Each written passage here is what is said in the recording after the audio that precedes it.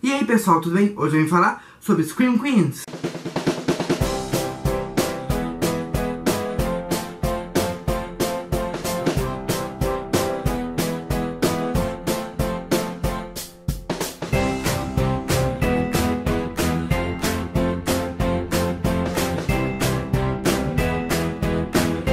Pessoal, tudo bem com vocês? Hoje eu vim falar sobre uma das minhas séries favoritas que é Scream Queens.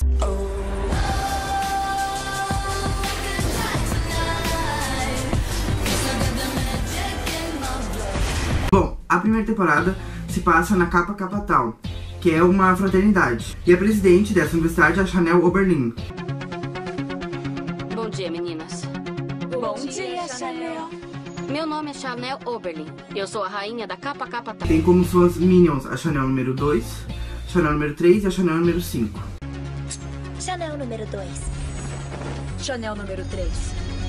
Chanel número 5. Então a reitora Amante ela dá uma ordem de que qualquer uma pode se candidatar na capa. E isso deixa a Chanel super braba. What fresh hell is this? E de repente começa a acontecer alguns assassinatos nessa fraternidade. E todos acham que está relacionado com um fato que aconteceu há 20 anos atrás na capa capital. Foi uma garota que ela teve um bebê na banheira. Something really bad happened. She's dead. Então eles acham que o assassino é o bebê da banheira. Então aparece um assassino que ele se veste de diabo vermelho, que é o mascote da universidade, e ele começa a matar todo mundo.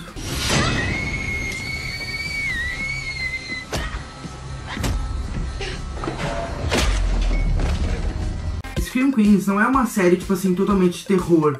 Ela tem muita comédia. Algumas mortes até são bem engraçadas, como a da Taylor Swift surda. Vou perguntar mais uma vez.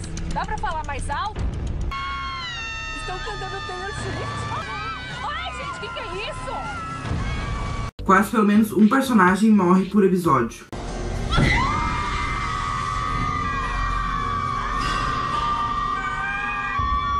Bom, agora vamos para os personagens. Primeiro temos a Chanel Oberlin.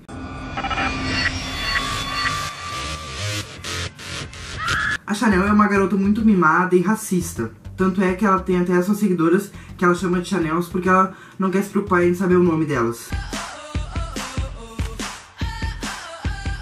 Segundo, temos a Chanel número 2. A Chanel número 2 aparece bem pouco na série. Em seguida, temos a Chanel número 3. Que ela usa sempre aqueles protetores de orelha.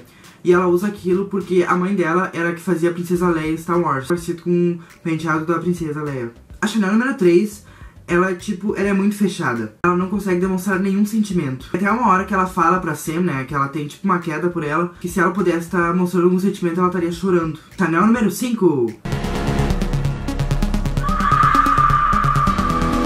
A Chanel número 5 é minha personagem favorita da série. Todo mundo acha ela muito irritante, mas eu adoro ela, cara. Não, eu não consigo odiar ela. Zayday Williams. Com a Zayday, primeiro estudo, ela não queria entrar na capa capital. Foi a Grace, que daqui a um pouquinho eu vou falar dela, que, tipo, fez ela entrar junto com ela. gonna rush Kappa Kappa Tau. Hey, why don't you join with me? Girl, I'd rather die. Então, depois que ela entra, ela vê que é uma fraternidade super racista. Oi, piranhinha. Nem sei por onde começar com você. Sabe, eu vou te bater tanto que o seu absorvente vai voar longe. Ah, espera. Vou até o meu quarto buscar delineador branco pra poder escrever diretamente na Zayday. Hum. E aí, ela decide ser presidente da capa capital. Hoje é o dia que declaro minha intenção de concorrer à presidência da Casa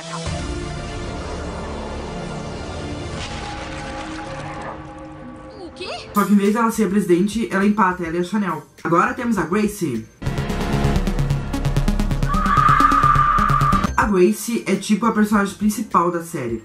Só que é óbvio que a Chanel rouba toda a cena. Peach.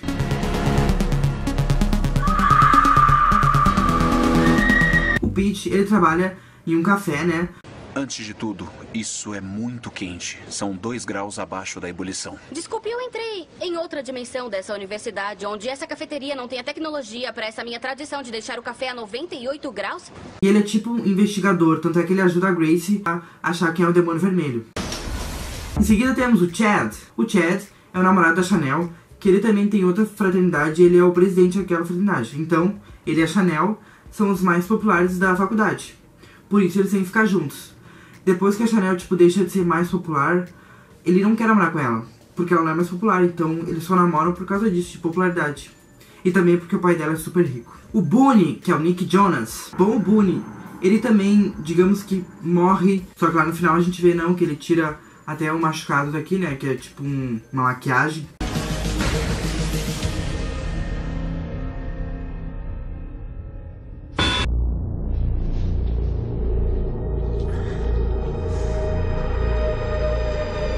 Seguida temos a Hester. A Hester nunca ia poder entrar na capa se não fosse aquela ordem da Reitora Amante. Depois ela se transforma até na Chanel número 6.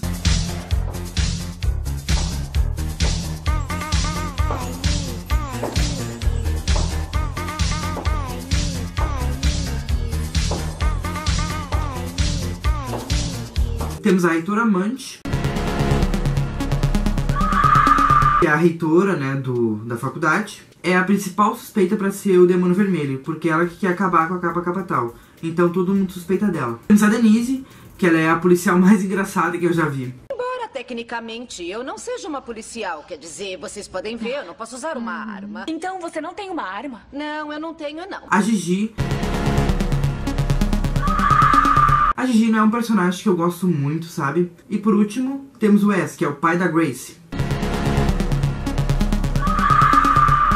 O pai da Grace, ele decide virar professor da faculdade, né? Só pra ficar mais próxima da Grace. E ela acha isso uma loucura. Bom, gente, agora eu vou falar pra vocês as minhas três cenas favoritas da série. Minha primeira cena é a cena onde a Chanel, ela se apresenta. Essas são as minhas cópias. Eu não sei os nomes e também não quero saber. A minha segunda cena fica com a cena da morte da Chanel número 2. E por final tem a cena onde as Chanel são presas, com aquela música de fundo perfeita.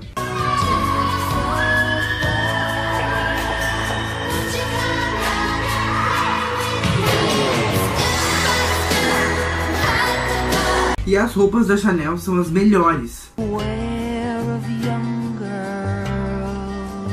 Scream Queens também trata sobre feminismo.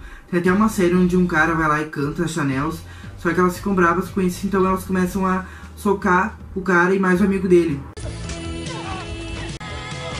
Uh, no Halloween de Chanel, ela chama de Chaneloween, que ela dá presentes para suas fãs. Eu amo Halloween. É meu negócio.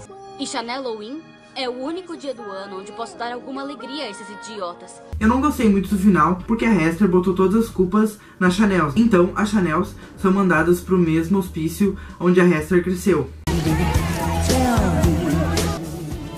Aí no final lá tá a Chanel caminhando até a cama dela, tá todo mundo dormindo já.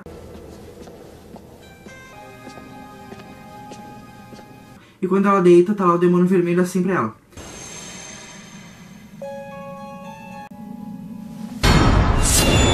E tem aquele grito fantástico da Emma Roberts. Bom, gente, foi esse o vídeo. Se vocês gostaram, clique em gostei aqui embaixo, se inscreva no canal aqui embaixo também, tá, gente? E até o próximo vídeo. Beijo e até a próxima.